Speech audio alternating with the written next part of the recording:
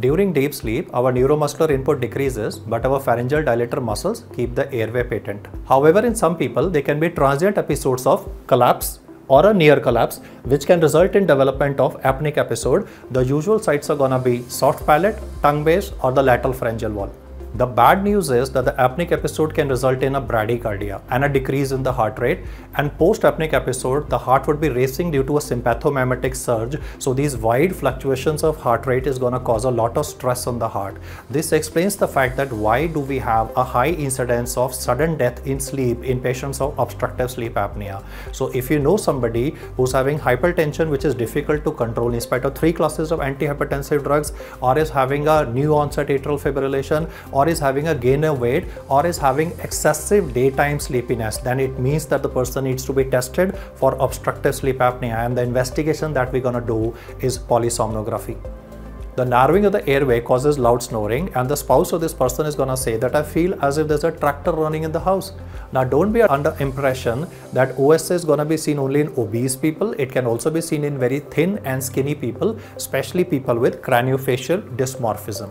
The test we're gonna do is polysomnography. EEG would be done to demonstrate cortical arousal. We'll be doing a EOG to demonstrate the phase of sleep, ECG to find out the fluctuations in the heart rate. That's a bradycardia and a tachycardia electromyography, oxygen saturation, chest and abdominal movement, and nasal airflow monitoring is done in the polysomnography to diagnose OSA.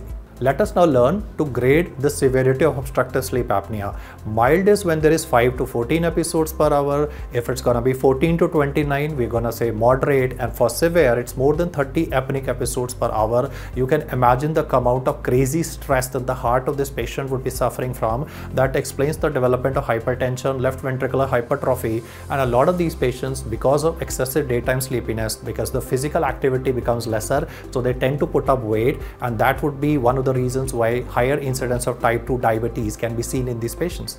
You can consider this collapsed airway as a deflated car tire and now if you need to get this tire off from the back of the throat, there are two approaches that can be used. One is we can use a CPAP which is widely acceptable or there's a newer approach available that is called as hypoglossal nerve stimulation.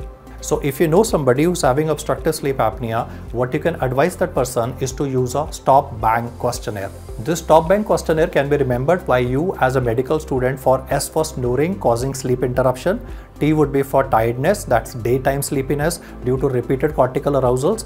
O is observed apnea during sleep. P is for pressure. B is for body mass index more than 35. A is age more than 50 years of age. N would be for neck circumference, which is more than 40 centimeter.